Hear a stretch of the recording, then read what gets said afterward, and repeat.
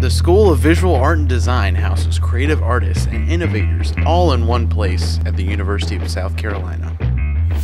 Telling innovative stories. Creates a knowledge and understanding of the human experience.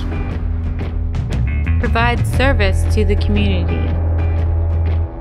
Capturing a thousand words. What can the School of Visual Art and Design do for you?